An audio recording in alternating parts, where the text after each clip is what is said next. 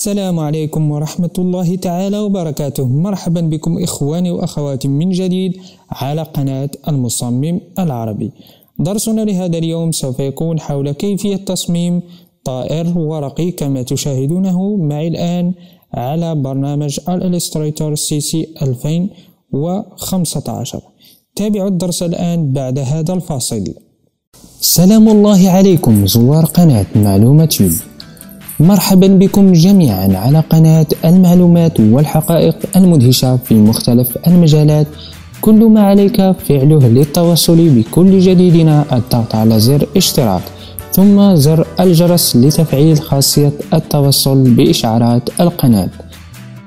لا تنسى الإعجاب والاشتراك في القناة ليصلك كل جديد على قناة معلومة يوب نبدأ على بركة الله. أولا سنقوم بتقليص الشعار أو الطائر الورقي ثم نضعه في هذه الزاوية هنا. بعد ذلك سنقوم ونختار أداة Pen Tool قبل ذلك سنختار اللون الأبيض. ثم نقوم باختيار stroke ثم يكون سمك stroke واحد بوينت. ثم نقوم باختيار أداة Paint Tool أو الضغط على حرف P. ثم نقوم برسم مثلث سيكون قائم الزاوية كما تشاهدون معي الآن. هكذا. جيد. بعد ذلك سنقوم بالضغط على حرف V للحصول على أداة Selection Tool. ثم نقوم ونختار أداة Pen Tool مرة ثانية كما تشاهدون معي الآن.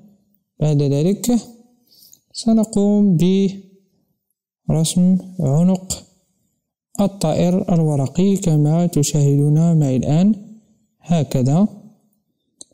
ثم نعود إلى V. ثم نقوم ونختار نقوم بتصميم الرأس على هذا الشكل كما تشاهدون معي الآن. جيد. ثم بنتول ثم نقوم برسم الديل للطائر على هذا الشكل. جيد. ثم أداة البنتول مرة أخرى.